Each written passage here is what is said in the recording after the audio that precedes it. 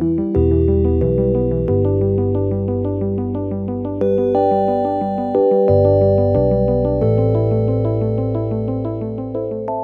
cinéma, documentaire est là bien sûr pour alerter, pour informer.